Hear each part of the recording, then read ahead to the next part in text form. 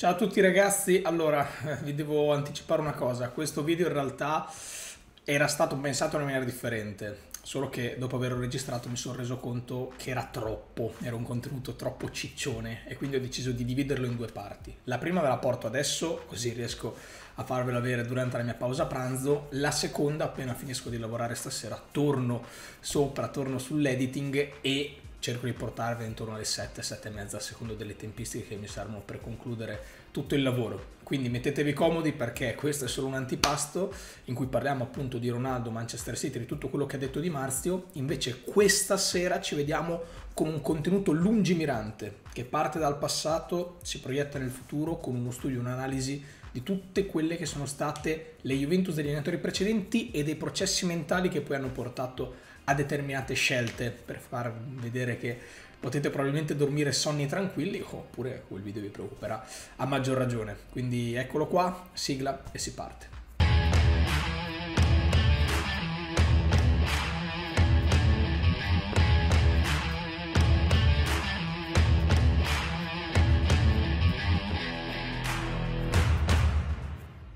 Ciao ragazzi, benvenuti nel mio nuovo video. Oggi è mercoledì 25 agosto 2021, il che significa che mancano ufficialmente 6 giorni alla conclusione del calciomercato e 4 giorni alla prossima partita della Juventus. Quindi oggi dobbiamo iniziare parlando vabbè, di Ramsey che è infortunato, lo sappiamo, starà fuori 3 mesi, quindi diventa invendibile in questi ultimi giorni di mercato, quasi un'ufficialità 99.9% che Ramsey non lascerà la Juventus, così come Kai Jorge che oggi verrà presentato alla stampa alle ore 14, 14.30 alla Continassa e che anche lui starà fuori circa un mese, quindi la Juventus parte con un doppio errore di Scesni, parte con un doppio infortunio della durata di un mese per due calciatori e ha qualche questione legata al mercato, calciomercato in uscita di giocatori che sono considerati importanti ma non incedibili dalla Juve, su tutti Cristiano Ronaldo e Weston McKennie.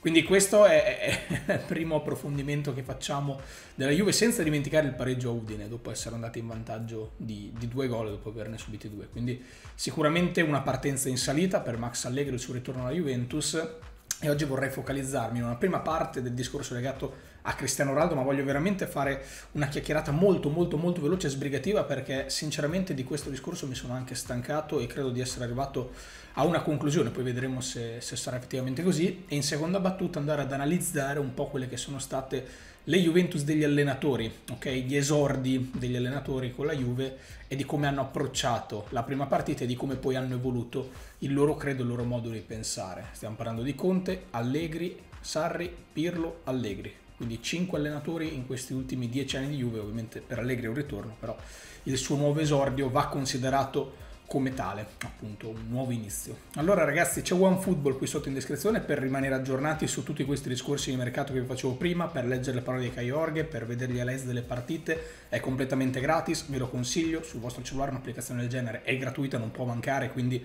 vi chiedo di scaricarlo, il link è qui sotto in descrizione.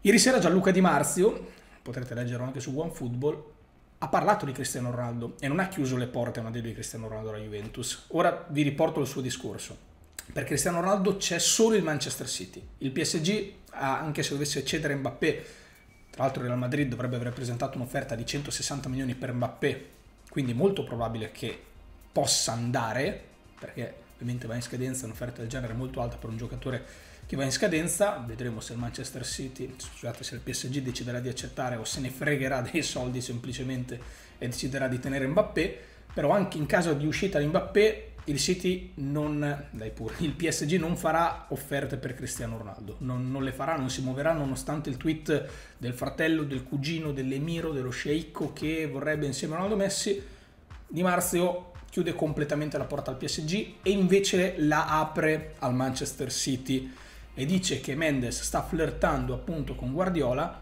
e con il Manchester City, che però in questo momento non avrebbe la volontà di pagare il cartellino di Cristiano Ronaldo. Ricordiamolo, per la Juventus il cartellino di Cristiano Ronaldo è ancora bilancio con ammortamento pari a una cifra che parte dai 25 fino ai 28 milioni. Quindi il range per strappare Ronaldo alla Juve ora è tra i 25 e i 30 milioni. Un'offerta del genere, se Ronaldo l'accetta, la Juve l'accetta, Ronaldo parte e tutti a posto. Il City però per fare la fonda Cristiano Ronaldo dovrebbe prima vendere Sterling, ma non ci sono al momento offerte soddisfacenti per l'attaccante inglese. Tra l'altro la Juventus sarebbe disposta ad accettare uno scambio tra Cristiano Ronaldo e Gabriel Jesus, che però in questo momento al Manchester City considerano incedibile. Quindi la situazione è questa, Ronaldo vorrebbe andare via, sarebbe disposto ad andare al Manchester City nonostante i trascorsi al Manchester United, il City è interessato ad acquistare Cristiano Ronaldo che costa meno di Harry Kane per il quale avevano offerto 150, 160, 180, ormai si sono persi i conti dato che sono altissimi, ma il Tottenham al momento non ha ancora accettato. Per Cristiano Ronaldo sono disposti a, a spendere zero e non sono nemmeno disposti a cedere Gabriel Jesus nello scambio. Quindi mi viene da dire, come possiamo andare avanti a parlare di questa trattativa? C'è la Juve che lo cede, sì va bene, ma tra i 25 e i 30 milioni. Gli altri offrono zero. La Juventus viene incontro chiedendo un giocatore, loro non lo vogliono dare.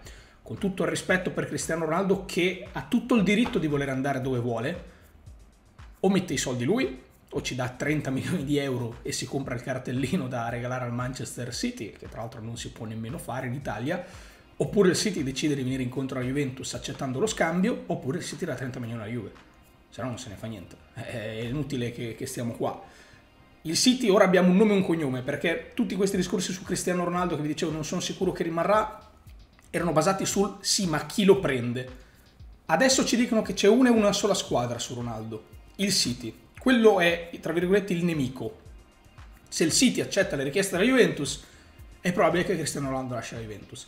Se il City rimane fermo sul ti do 0 euro e non ti do Gabriel Jesus, Cristiano Ronaldo è un giocatore della Juve, rimarrà un giocatore della Juve fino a scadenza di contratto e poi Ronaldo potrà fare le sue valutazioni dal prossimo anno, dal 30 giugno 2022, nessun problema, ma per quest'anno giocherà per la Juve. Quindi provo a riassumerlo in questo modo, perché se poi la Juve accetta rivenderlo a zero, vabbè, allora siamo nel campo neanche dell'illazione della follia pura, cioè proprio non voglio neanche prendere in considerazione un'ipotesi del genere. Quindi questa è la situazione Cristiano Ronaldo. Finita, la lasciamo lì. Per quanto riguarda invece gli esordi degli allenatori della Juventus, c'è da fare un bel discorsetto.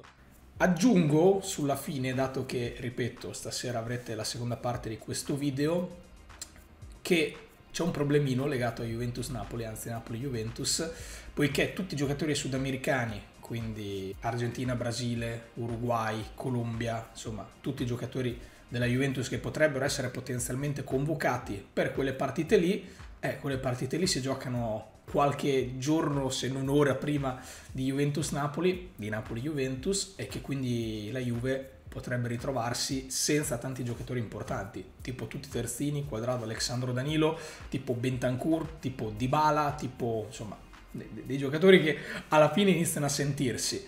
La Liga Spagnola ha già diramato un comunicato che dice che per salvaguardare la competizione le squadre sono invitate a chiedere ai giocatori di rifiutare la convocazione. Io spero che succeda la stessa cosa in Serie A, perché purtroppo una partita così di cartello rovinata da una roba del genere potrebbe essere un problema. Colgo l'assist che mi sono fatto da solo per arrivare a parlare di Osimen, che ha ricevuto due giornate di squalifica e già si grida al complotto.